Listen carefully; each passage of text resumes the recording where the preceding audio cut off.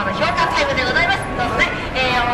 気持ちのご準備はよろしくお願いいたしますそれでは順番で参ります皆さんねあのロッカー入ったり、えー、お席立ちますとねちょっとものすごい混雑しちゃいますので、えー、お時間ないとか申し訳ないんですが皆さん